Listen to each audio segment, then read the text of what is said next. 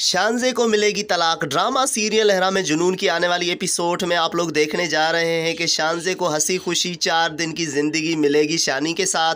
क्योंकि शानी का रवैया उसके साथ बिल्कुल भी अच्छा नहीं होगा। शानी को सिर्फ़ सजीला ही दिल में होगी और ख़्यालों में होगी। शानजे से शादी करके उसका ऐशो अयाश भी उसको खुशी नहीं दे रहा होता और उसकी गाड़ियाँ बंगले भी उसे सकून नहीं दे रही होती, जो कि सजीला की मोहब्बत पाकर उसे सकून मिलता। तो इसलिए ड्रामा, सीरियल, लहरा में जुनून में आगे चल चलकर शानी शानजे को तलाक दे देगा और जाकर सजीला से शादी कर देगा। क्योंकि अभी से ही शावर शानी के तेवर बता रहे हैं, उसकी माँ भी इस बात पर परेशान होती है कि बेटा तुम्हारी शादी हो गई। लेकिन तुम फिर भी परेशान और उदास हो।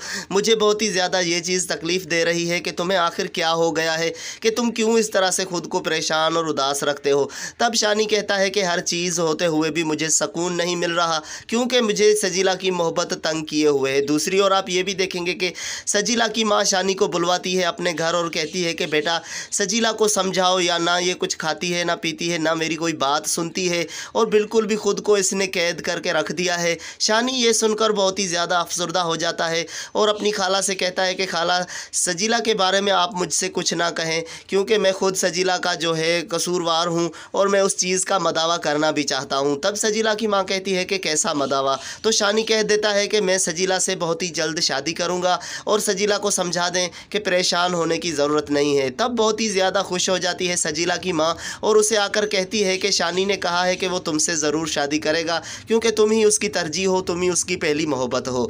जब ये बात सुनती है सजीला तो वो बहुत ही ज़्यादा हैरत में आ जाती है और कहती है कि अभी मैं इस तरह कुछ भी नहीं सोचने वाली, मुझे थोड़ा टाइम चाहिए और मैं शानजे के साथ शानी को देख कर खुद शादी नहीं कर सकती। मज़ीद ड्रामा रिव्यूज़ के लिए चैनल को सब्सक्राइब करें फ्रेंड्स। मिलेंगे नेक्स्ट वीडियो में। तब तक अपना बहुत सारा ख्याल रखें। अल्लाह हाफिज़।